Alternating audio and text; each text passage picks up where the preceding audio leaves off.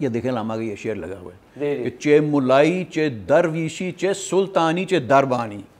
फरूग car मी जूयत बेसालूसी और जर्रा। तो कहते हैं ये सारे के सारे जो हैं ये चारों आपकी जो भी है ये इंस्टीट्यूशन हैं ये अपना काम जो है अवाम को धोखा फर फ्रेब देकर ही अपने मकासद हासिल करते हैं। तो खुद अल्लाह बाद में वो कहते हैं कि मेरे पर तो खुदा का हुक्म है कि दूसरों की इबादत गाहों का अगर अपनी जान से भी मुझे हिफाजत करनी हुई तो करनी।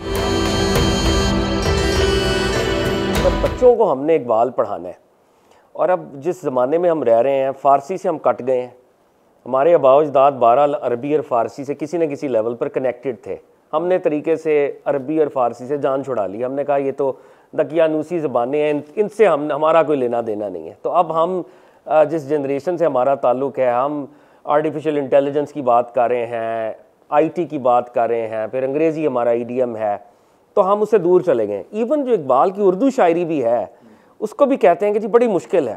हालाँकि बांगे दरा की वो नज़में जो आजकल लोग सुनते हैं वो नस्बता आसान है, लेकिन उनको भी कहा जाता है बड़ी मुश्किल शायरी है।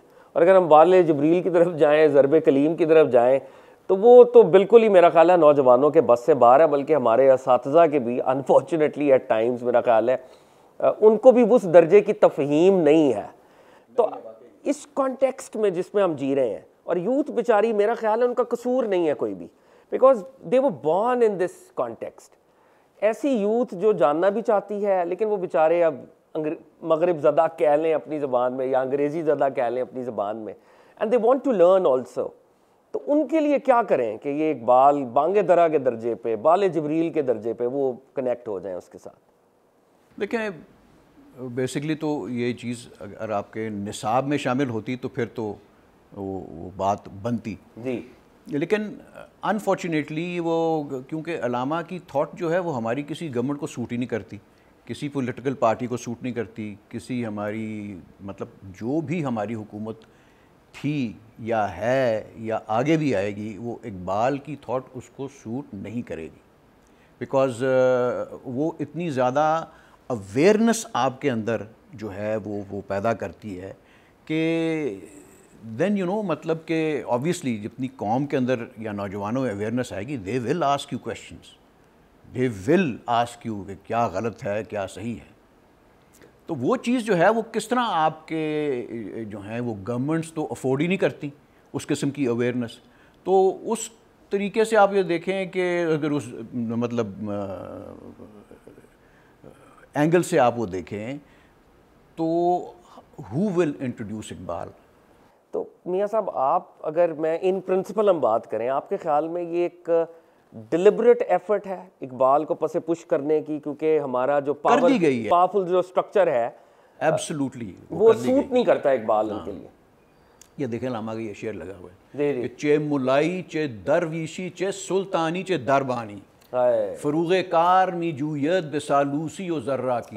कि क्या ये आपके मुल्ला आपके ये जो जो दरवेश हैं जो कुछ जाली किस्म के जो हैं और ये हुक्मरान आपके सुल्तान हुक्मरान है। हाँ। तो कहते हैं ये सारे के सारे जो हैं ये चारों आपकी जो भी है ये इंस्टीट्यूशंस हैं ये अपना काम जो है अवाम को धोखा फर फ्रेब देकर ही अपने मकासद हासिल करते हैं। तो इसी तरह ही तो हो रहा है पाकिस्तान के अंदर आप वो देख। वो आपको कोई ना कोई आके ऐसा कोई नेरेटिव जो है वो दे दिया जाता है। और उसके बाद they they make you believe that that it's true अच्छा मियाँ साहब अब मैं इसी ये जो आप बात कर रहे हैं कि बात तो बड़ी अहम है हम देखते तो हैं। अब मुझे ये बताया ना ऐसा जो नज़रिया ये इकबाल इम्प्लीमेंट हो ही नहीं सकता जब तक आप इन चारों को लेकिन इसमें इसमें इंटरेस्टिंग बात यह है कि एक ख़ास किस्म का हमारा जो रिलीजियस स्कॉलरशिप का तबका है उसने तो ऑन किया इकबाल को अपने अपने मीनिंग्स भी दिए इकबाल को। अपने मकसद के लिए ज़्यादा मकसद के लिए इस्तेमाल किया। आउट ऑफ़ कॉन्टेक्स्ट किया अपने मकसद के लिए किया। और उससे ज़्यादा मतलब कि उन्होंने बाकी जो उनको नहीं सूट किया उन्होंने डिस्कार्ड भी डिस्कार्ड कर दिया उसको। अच्छा लेकिन मियाँ साहब ये सवाल इसका भी आप ही जवाब दे सकते हैं। वो पाकिस्तान का तबका जो जिसको हम कहते हैं जी इंटेलिजेंसिया जो कि वेस्ट से पढ़ के भी आते हैं। और वैसे वो बात करते हैं फ्रीडम ऑफ़ एक्सप्रेशन की, फ्रीडम ऑफ़ चॉइस की, लिटरेचर की। लाहौर में इतने अदबी मेले होते हैं, लाहौर लिटरेचर फेस्टिवल यहाँ पे होता है, दीगर अदबी मेले होते हैं।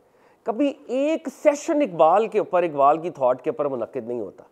तो वो वो जो, वो लोग हैं जो कि फ्रीडम ऑफ़ एक्सप्रेशन की बात कर रहे हैं, उन्होंने भी इकबाल को डिस्कार्ड कर दिया। इस पर आप कमेंट करें।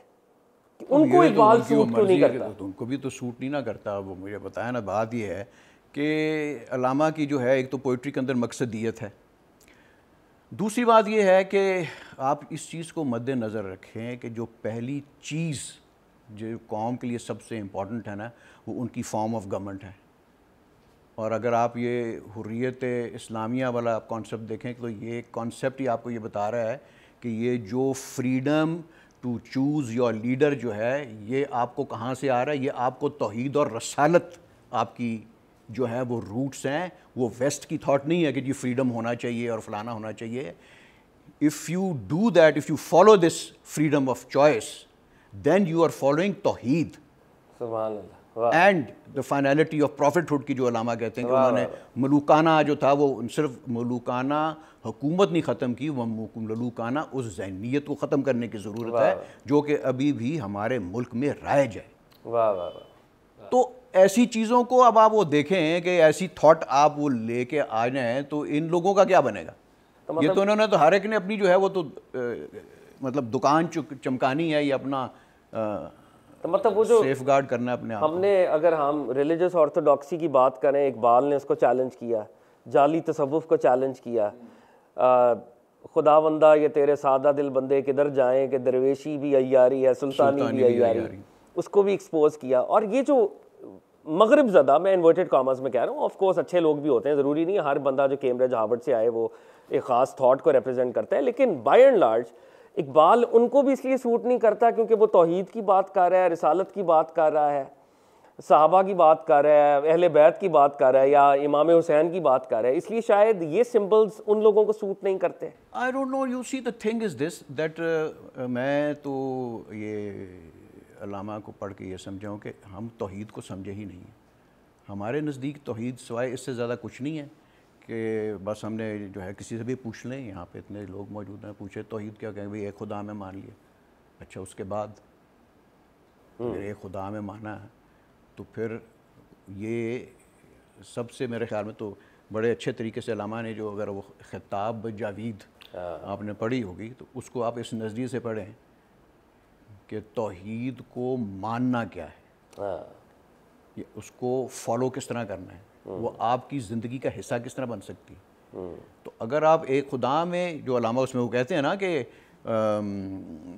कि तुमने अपनी माँ से जो है वो एक दौलत हासिल की तुमने उससे ला ला ला कहना सीखा तो वो कहते हैं कि वो ला ला ला तुमने उससे कहना तो सीख लिया लेकिन उसको उसकी जो सोज और तपिश जो है वो मेरी निगाह से हासिल करो तो फिर वो आगे वो बयान करते हैं कि ला ला अगर का है तो उसको रूह और अपने दिल से कहो ताकि तुम्हारे जिसम से जो है तुम्हारी रूह की जो है वो खुशबू आए।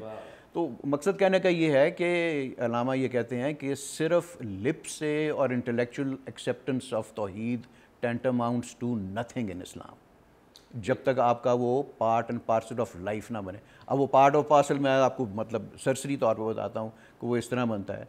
कि तोहहीद पे आपका ईमान है तो सबसे पहले तो आप में गैरत पैदा होनी चाहिए। गैरत से आपके अंदर जो है फिर रिस्क हलाल आना चाहिए।